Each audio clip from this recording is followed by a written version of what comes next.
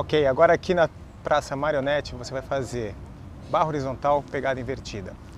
Dê uma olhada nessa, nessa barra que foi feita justamente para você fazer esse exercício.